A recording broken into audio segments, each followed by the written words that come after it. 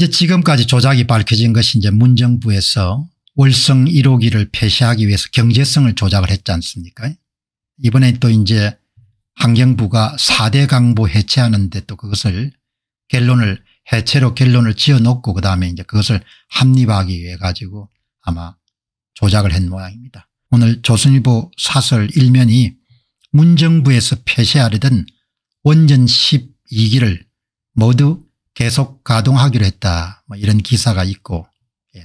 그리고 이제 그 다음에 이제 오늘 사설의 기사 중에 하나가 월성 1호기 폐쇄에 이어서 4대 강보 해체 결정도 조작이었다. 네, 그 다음에 이름 인상적입니다. 조작이 이뿐인가 문재인 정권 하에서 일어났던 조작 사건이 이것만인가 그 제목이 저로 하여금 오늘 이 내용을 여러분과 함께 다루는 시간을 갖도록 했습니다.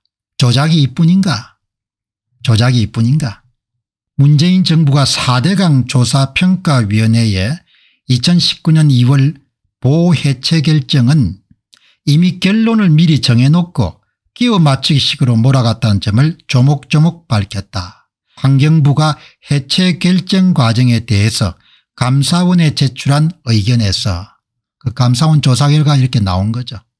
조작이 없는 게 뭐가 있겠습니까? 거짓이 아닌 게 뭐가 있겠습니까? 거짓과 조작이 여러분들 일상화된 거 아닙니까? 대한민국에서 지난 5년 동안. 그런데 그 조작과 거짓 가운데서 뭐 백미 어떤 가는 것은 뭡니까? 그건 공직선거 조작이지 않습니까? 조선일보는 조작이 이뿐인가? 뭐 이런 칼럼을 쓰면서도 예, 뭐 이런 보해체라든지 월성 1호기 폐쇄하고 비교할 수 없는 여러분들 그런 조작에 대해서는 한 번도 언급하지 않지 않습니까 나는 이렇게 사람들이 어떻게 이렇게 이중적인가라는 부분에 대해서 뭐 이제는 실망하지는 않고 너무나 신기해하는 거죠.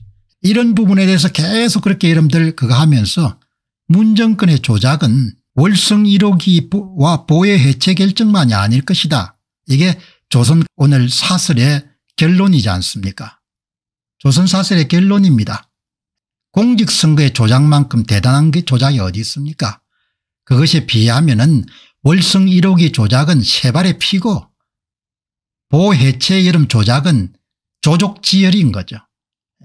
공직선거 전체를 다 조작한 거 아닙니까 공직선거 전체를 선거 사기를 친 거 아닙니까 여러분들께 기독교로 보는 세계 역사란 책을 소개합니다. 세계 역사의 인물과 사건을 통해 드러난 문명, 종교, 철학 그리고 예술과 사상을 예리한 통찰력과 분석과 전망으로 독자를 한없는 상상의 세계로 초대합니다.